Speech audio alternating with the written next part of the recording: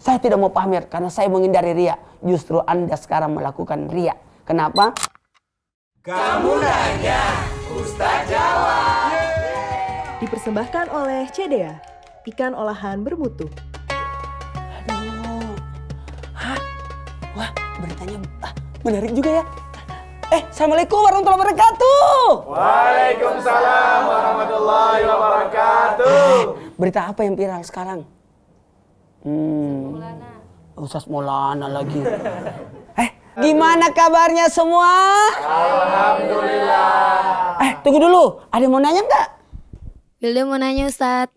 Kamu nanya, Ustaz jawab dong. Jadi gini Ustadz, zaman sekarang tuh kan orang-orang eh, punya empat kebutuhan pokok. Empat. Yang pertama sandang, pangan, papan, sama sosmed. Oh, tambah satu ya. Nah, terus eh, orang-orang zaman sekarang tuh kayak dikit-dikit upload. Kayak misalkan sedekah sedikit diupload. Terus kayak Hmm. misalkan bagi-bagi sepatu diupload. Nah Oh. itu gimana tuh Ustadz? Dengarkan. Kepada semuanya. Inna malak malu bin niat. Tergantung dari niatnya. Kalau kita melihat seseorang yang mengupload kebaikan dan atas apa pun, kita yang menyimak itu berbaik sangkalah. Yakin bahwa dia lagi syiar. Lagi dia syiar. Jadi syiar itu boleh. Syiar itu kan ditampakkan, diperlihatkan. Dakwah itu diperlihatkan supaya ada yang mengikutinya, mencontoh. Itu boleh. Nah, tapi kalau pada posisi diri kita, lebih baik kita menjaga diri, jangan sampai yang melihatnya justru beda pemahaman. Jadi ada namanya penyakit ain. Hati-hati. Mengupload sesuatu diri, anak dan sebagainya, takutnya nanti anaknya sakit. Barang-barang nanti rusak. Hati-hati loh. Mengupload handphone baru, tahu-tahu rusak. Karena kenapa? Penyakit ain itu bukan hanya menimpa pada manusia, tapi juga menimpa pada benda mati, termasuk binatang. Tiba-tiba binatangnya mati. Kata Nabi, oh ini onta ini mati karena kena ain. Jadi hati-hati. Mengupload sebelumnya ba- baca dulu, masya Allah. Nah, jangan, tidak semua yang melihat itu mengatakan masya Allah. Maka yang pertama niatnya dulu, perbaiki niat. Kemudian jadikan ini adalah sarana syiar. Tapi ada juga nih ikhlas karena Allah. Karena perbuatan kita kan cuma dua, karena Allah atau karena nafsu. Ulangi, karena Allah atau karena nafsu. Kita eh, kita mengupload ini karena Allah atau karena nafsu. Kalau karena Allah bisa jadi lahan pahala, bisa jadi sarana siar. Bahkan yang hebatnya lagi, lebih hebatnya lagi bisa menjadi sarana jariah. Tahu nggak? Berapa orang yang mengikut gara-gara kita me- eh, meng- menginformasikan sesuatu yang baik, terus berpindah kebaikan itu, dilakukan lagi orang kebaikan itu, maka mendapatkan pahala. Makanya guru ngaji itu besar pahalanya. Kenapa? Berapa anak murid yang diajar ngaji, anak itu membaca Quran, maka dia pun dapat pahalanya. Ngajarin anak sholat, anak itu sholat, terus lakukan sholat, kemudian diajarkan lagi, itu luar biasa pahala- pahalanya. Makanya Sayyidina Abu Bakar Siddiq itu luar biasa banyaknya pahalanya. Berapa yang diislamkan, kemudian berapa yang melakukan kebaikan. Tapi ada tanda kutip, hati-hati. Jangan sampai ada ria, ria, tahu nggak ria? Melakukan sesuatu mau dilihat. Ada sum'ah, mau pamer. Ada ujub, merasa lebih baik. Maka terbungkus dalam kategori kesombongan. Sombong itu merasa dirinya lebih baik, yang lain tidak bagus. Salah. Harusnya kita menampakkan semua jadi baik untuk tanda kesyukuran nikmat. Jadi bisa jadi orang mengupload di sosial media kebaikan atau barang atau sesuatu itu tanda bagaimana dia mensyukuri nikmat yang Allah berikan kepadanya. Makanya kembali lagi, ketika engkau melihat seseorang, maka niatkan dia adalah lagi berbuat kebaikan, bukan lagi pamer. Karena walaupun walaupun ada orang berkata begini, saya tidak mau pamer karena saya menghindari ria. Justru Anda sekarang melakukan ria. Kenapa? Melakukan bukan karena Allah, tapi melakukan karena ria. Ah, hati-hati.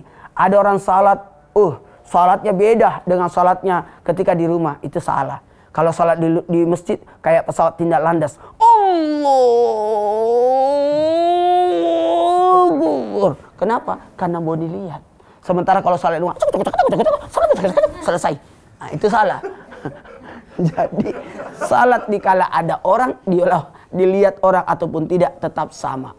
Itulah hebatnya orang yang ikhlas. Apa artinya ikhlas? Khalis. Apa artinya khalis? Murni. Tidak campur karena apa? Tapi semuanya tiga ini. Karena Allah, sebab Allah, untuk Allah. Tuh dua tiga karena Allah, sebab Allah, untuk Allah. Sebab Allah, karena Allah, untuk Allah. Sebab Allah, karena Allah, untuk Allah. Karena Allah, sebab Allah, untuk Allah. Karena Allah, sebab Allah, untuk Allah. Untuk Allah, sebab Allah, karena Allah. Untuk Allah, sebab Allah, karena Allah. Bingung kan? Jadi berbuatlah karena Allah, bukan karena manusia. Allahus samad, Allah tempat bergantung. Iyyaka na'budu wa iyyaka nasta'in. Hanya engkau yang kami sembah dan hanya engkau yang kami mohon pertolongan. Inna salati wa nusuki wa mayai wa mamati lillahi rabbil alamin. Semua untuk Allah. Itu akan nikmat. Ah, aku posting ini ah, semoga ini jadi sarana ibadah, sarana siar. Itu boleh. Makanya gini, salat berjamaah ditampakkan. Idul Fitri ditampakkan. Idul Fitri ditampakkan. Orang pergi salat di lapangan. Kenapa? Jadi siar. Tahu nggak kenapa orang salatnya tujuh takbir rakaat pertama? Tanya dong. Kenapa? Tanya dong. Kenapa tujuh? Karena tujuh dosa dia bagian di atas. Satu, dua, tiga, empat, lima, enam, tujuh. Tuh, dua, tiga. Satu, dua, tiga, empat, lima, enam, tujuh. Maka tujuh dosa diampuni di atas. Dan rakaat kedua salat idul fitri berapa berapa takbir? Lima. Untuk menghapuskan lima dosa bagian di bawah. Satu, dua, tiga, empat. Ya udah. kan. Jadi ada memang yang harus ditampakkan, yang harus diperlihatkan supaya jadi pembelajaran. Sosok seorang guru, sosok seorang guru, kalau dia baca doa harus dibesarkan suaranya. Kenapa? Karena ada murid yang mengikutinya. Sosok orang tua kalau berdoa harus membesarkan suaranya karena ada anak yang meneladaninya. Ada anak yang meneladaninya. Maka ibu-ibu yang berdoa sebaiknya mintanya hanya kepada Allah, bukan minta pada suami. Minta uang, jangan minta sama suami, minta sama Allah di telinga suami.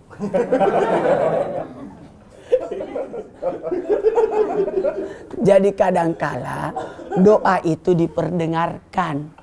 Kadangkala ada kalanya doa itu dijaarkan, dibesarkan supaya orang paham. Sosok orang tua kalau berdoa, besarkan suaramu, itu bukan ria. Itu bukan ria. Itu bukan pamer, tapi itu metode pembelajaran terhadap anak. Bahkan anak itu akan berkata, ternyata selama ini aku didoakan oleh ibuku. Ketika dia berdoa, dia menyebut-nyebut namaku. Karena anaknya namanya Atina. Rabbana Atina.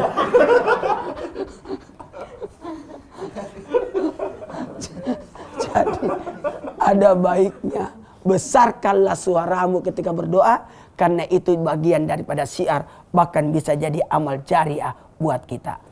Bismillahirrahmanirrahim. Subhanallah, alhamdulillah, wala ilaha illallah, Allahu akbar. Ya Allah, ana uhibbuka ya habibi. Aku cinta padamu ya Allah. Jadikanlah kecintaan itu tertuju padaku. Jadikanlah aku jadi hambamu ya Allah. Ampuni dosa-dosaku jikalau dalam amal perbuatanku ada timbul ria pamer di dalamnya, ada ujub di dalamnya. Ya Allah, jangan tolak amal ibadahku. Karena disebabkan selain darimu. Ya Allah, jadikanlah ibadahku, semua amal ibadah ini hanya untukmu ya Allah. Amin, amin, ya Rabbal Alamin. Terima kasih, ini yang dapat saya sampaikan. Semoga kita berjumpa lagi. Wallahu a'lam bishawab. mustaqim. Assalamualaikum warahmatullahi wabarakatuh.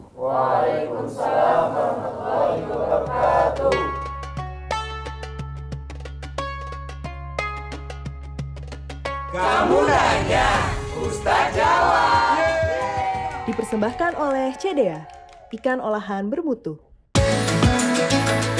Hai, jumpa lagi dengan saya Chef Billy Kalangi di kreasi resep CDA. Saya akan gunakan CDA crab stick tasty and good quality. Diproduksi secara higienis dan mengandung protein ikan sehingga baik untuk menjaga imun tubuh. Kita tusuk pasta paprika hijau, saus bolognese, keju mozzarella, jagung pipil, black pepper.